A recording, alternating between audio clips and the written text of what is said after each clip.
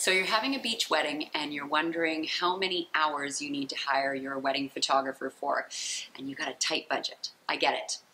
The least amount of hours that you can get away with and still be able to capture everything from your day is about a three to four hour package. Have your wedding photographer start one hour before your ceremony.